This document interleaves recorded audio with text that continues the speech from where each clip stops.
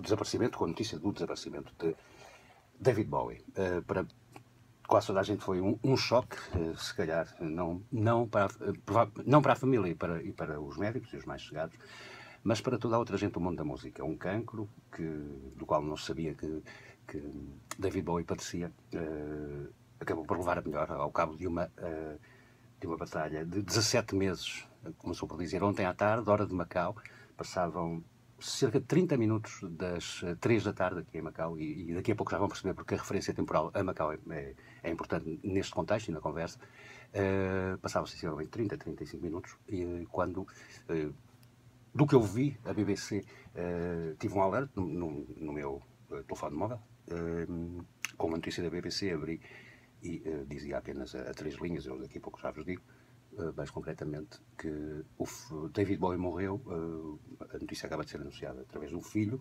uh, esperamos avançar com mais pormenores. E passado um pouco, começamos a ter as primeiras reações, porque estávamos na rua. E agora é, é tudo mais fácil, não é? E já vamos ouvi-las daqui a pouco.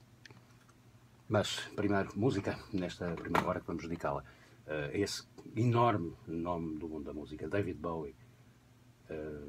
vamos ler-lhe também de uma carta escrita a um fã em 1967, é verdade, 67. Está a fazer quase meia década.